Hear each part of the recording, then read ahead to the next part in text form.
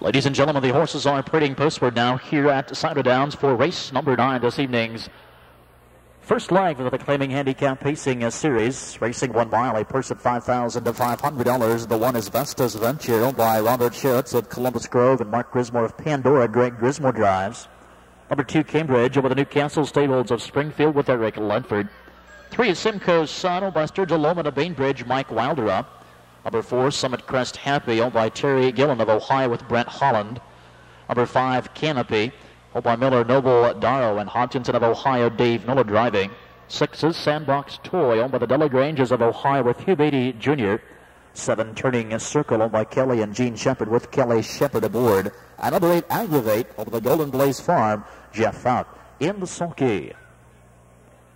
One play show perfecto and a trifecta wagering post time in nine minutes nine minutes to pro. Ninth race claiming handicap pacers are on and behind the gate. They're on the back stretch, and uh, there they go. And they're off. Cambridge away first from the inside. From the outside, there goes the six horse Sandbox Toy challenging early off the rail Vestas Venture. Angling in the fourth to the inside, Simcoe's Sun dropping in the five comes Summit Crest Happy.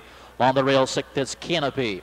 Angling in seventh from the seven hole, turning circle and aggravate takes the early backseat eighth. They're now in straight formation as they approach the first quarter mile marker with the six sandbox toy in control leading by a length. Second to the inside, it's Cambridge at the first quarter mile marker 29 and 2 along the rail third Vesta's Venture to the inside pacing fourth Simcoe's Son and looking to flush live cover. First up five here comes Canopy. Locked into sixth at Summit Crest happy with the live cover to the outside of seventh turning circle aggravate. Gets into the passing lane racing eighth. Into the clubhouse turn they go, and on the front it's Sandbox Toy in control by a length. Cambridge is waiting patiently behind the leader second. Vestas Venture has left the wood, is now first up, uncovered third. They're at the half, 58 and 4. Along the rail, racing a fourth. Simcoe's Son Canopy has found his cover, is second over, drafting along fifth. To the inside and racing a sixth Summit Crest, happy to the outside, seventh turning circle. Down the backside to go. And Sandbox Toy with a lead by a length and a half, two. Cambridge is waiting patiently second. Vestas Venture easing up to the outside is third. Simcoe's Son locked into fourth and three wide. There goes Canopy at the three quarters in 127 and Sandbox Toy looking to wide this field, leading by two lengths. Cambridge on the inside is closing slightly second. Simcoe's Sun advancing up the rail third. Canopy. A long mile, three wide is fourth. Less than an eighth now. And on the front, it's Sandbox Toy with the lead. Here comes Cambridge, pulling the pocket to the outside. And down low, Summit Crest Happy is closing ground with every stride. In deep stretch, Cambridge with the lead. Simcoe Sun to the outside. Cambridge by a half in 56 and 1.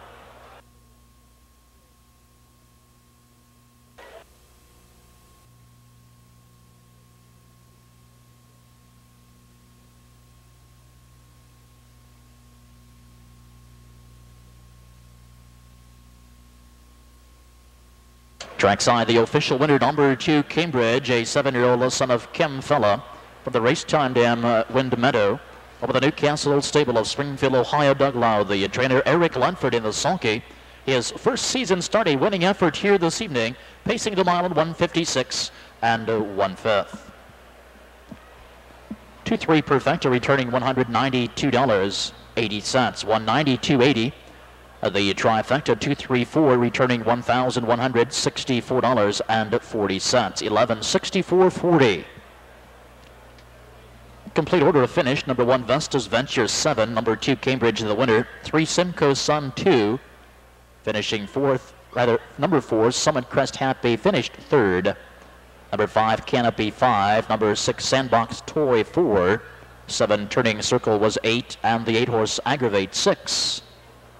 Top down reading 712, 354, 8, and 6. DJ 3, 5 Tiffany Satan 5. 6 was a late scratch, 7 Such a Fuss 6, and the 8 Buds victory was 4. Reach